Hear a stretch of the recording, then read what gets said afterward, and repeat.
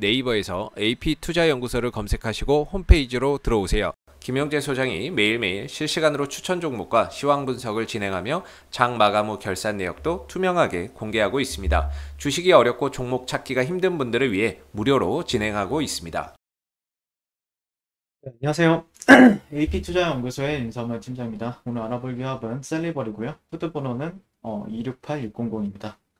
어, 일단 오늘 좀 셀리버리 어, 좀 리뷰를 할 것 같은데 네, 조금 뉴스도 하나 있었고 뭐 기업 탐방이라는 뉴스가 하나 있었죠. 네, 그거 관련해서 제 생각 네, 코멘트를 드릴 생각이고 일단 주요 매물대 네, 이런 데선 좀 지지를 받는 형국이죠. 또 유예 같은 경우에는 어, 좀 저항, 저항이라 생각해 볼 만한 가격대에서는 좀 저항을 받고 있는데 그래도 오늘 일봉상 종가 마감을 좀 어, 한, 어떻게 하는지 좀 지켜봐야 되지만 한 30분 남아있는 상황이에요. 근데 이렇게만 마감이 된다고 하면 그래도 어, 주요 구간에서는 그래도 좀 살리려는 움직임을 보였다. 네, 그래서 양봉이 좀 중요한 구간에서 좀 나와줬다라는 거는 그래도 심리적으로는 좀 좋아질 수 있는 부분이 예전부터 이제 될 수 있다라고 말씀을 드려왔었는데, 네.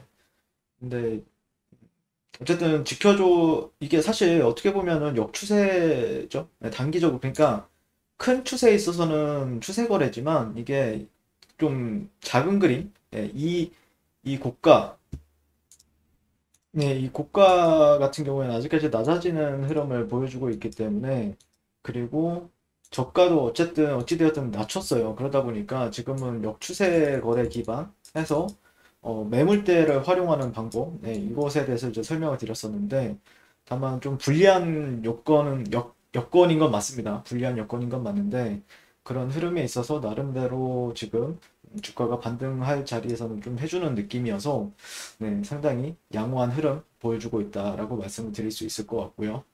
자 그리고 만약에 이런 구간을 좀 지켜준다라고 하면은 그 다음 저항 레벨은 이제 12.9 네, 이 정도고 그 전에는 여기 11.9 그러니까 10 대략적으로 11, 12만원, 13만원 이런 가격대들이 계속해서 이제 저항은 차례차례 받을 수 있어요. 네, 근데 심리적으로 이런 트렌드 같은 경우에는 계속해서 돌파 시도를 해주고 있다라는 점은 좀 단기적으로는 긍정적으로 보여지고 아마 올라가더라도 그래도 저항 받을 자리에서는 뭔가 새로운 모멘텀이 큰 게 하나 있지 않은 이상은 받을 수 있다. 네, 그래서 차근차근 좀 바꿔가는 흐름이 필요하다라고 생각을 하고 있고 그 다음에 오늘 뉴스 같은 경우에는 이제 셀리버리 그 기업 탐방이라는 뉴스가 나왔었는데 신약 신사업 진출 방안에 있어서 모색과 매진을 하고 있다 이렇게 얘기를 하고 있습니다. 그래서 실패를 경험할 때마다 그 순간 얻은 교훈으로 지금까지 달려온 것 같고 각종 연구 기술을 바탕으로 셀리버리는 코스닥 역사상 설립 이후 두 번째로 빠른 성장을 이뤄냈다. 상장할 때 매년 주가가 doubling 두 배를 이루겠다고 말을 했는데 그 이상도 가능할 것으로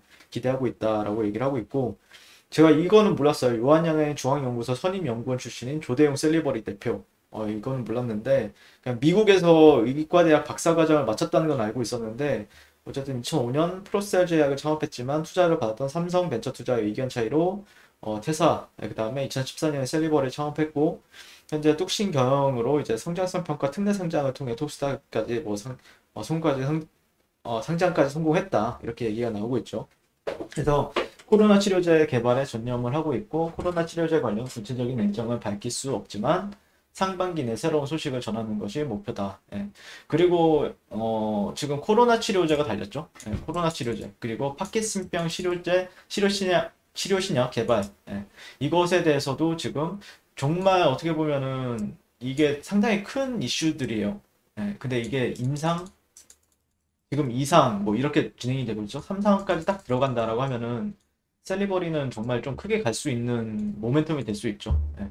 큰 다, 둘 다 큰 모멘텀입니다. 정말. 그래서 셀리버리는 혈 내장벽을 투과해서 원하는 조직 안으로 들어가는 기술을 이미 개발해놨다. 그래서 현재 확보된 효력 시험 및 독성 시험의 비인성 평가 결과로 북유럽 소재 글로벌 제약사와 글로벌 10대 제약사들과의 라이선싱을 추진 중이다라고 하면서 제조업 단백질의 대량 생산이란 높은 장벽에 막혀 신약 사업 개발 진행이 잠시 지체될 수밖에 없으나 이를 극복할 수 있는 공정 개발이 완료되었다라고 말했다라고 합니다. 그래서 IC 파킨, ICP 파킨 어, 임상 이상 후 치료 목적 사용 승인 신청 등을 통해 상용화를 앞당긴다는 계획이고 현재 진행하는 신약 개발을 정진하면서 향후 신약 분야의 신사업 진출 방안도 모색할 계획이다. 해서 어, 두배 이상 기업 가치가 매년 두배 이상 오를 수 있도록 시대의 흐름에 맞는 보다 안전하고 효율적인 신약 개발에 끊임없이 정진할 것이다 라고 이제 힘주어서 얘기했다라고 합니다. 네. 이런 부분들은 참 그 뭐냐 잊혀질 듯 하면은 조대웅 대표가 나와가지고 또 셀리버리를 홍보하고 그런 부분은 항상 인정을 해줘야죠. 네. 인정을 해줘야 되는 것 같고 그렇게 좀 적극적으로 하느냐 아니면 적극적으로 하지 않느냐에 대- 따라서 주가도 어느 정도 좀 사람들의 관심도라는 게 있잖아요. 네, 사람들의 관심도라는 게 있는데 그런 관심도에 있어서 조대웅 세, 셀리버리 대표 같은 경우 참 잘하고 있다라고 평가를 내릴 수 있을 것 같고 어, 일단 바닥이 좀 봐줘져 봐줘야 된다라고 생각을 하고 있고 네, 어느 정도 좀 이탈은 나왔지만 이탈은 나왔지만 차근차근 지수만 좀 돌아 나간다라고 하면은 그래도 조금 긍정적인 상황인데 아직 지수에 대해서 확실하게 말씀을 드릴 수가 없어요. 네, 지수가 아직까지는 여기가 저점이다라고 말하기에는 좀 무리가 있어서 뭐 최근에 이제 하락했다는 어느 정도 기술적 반등 구간이라고는 해석은 하고 있는데 예, 그런 부분 그런 부분에 있어서 좀 일차적인 집중을 하고 있고 뭐 올라가더라도 저항대는 맞아요. 많아요. 아, 많아도 저항대가 이상하게 돌파가 된다라고 하면은 뭔가 좀 이상한 거겠죠. 우리가 모르는 모멘텀이 뭔가 있을 수 있다 라는 관점이고 그런 게 만약에 차례차례 나온다라고 하면은 바로바로 리뷰해서 여러분들께 또 좋은 소식 알려드리도록 하겠습니다. 자, 그리고 최근에 이제 뭐 아시다시피 지수의 영향을 계속해서 지속적으로 받아왔죠. 네, 그러다 보니까 종목들이 약세 흐름을 보여주고 있는데 네이버에서 AP투자연구소를 검색하시고 이제 홈페이지로 접속을 하게 되면은 지수의 영향을 좀 덜 받고 단기적으로 또 급등할 수 있는 종목을 매일매일 저희 김용재 소장님께서 아침마다 드리고 있습니다. 이 부분도 참고해서 잘 매매하셨으면 좋겠다라는 의견 드리면서 오늘 리뷰는 마치도록 하겠습니다. 네, 시청해주셔서 감사드립니다.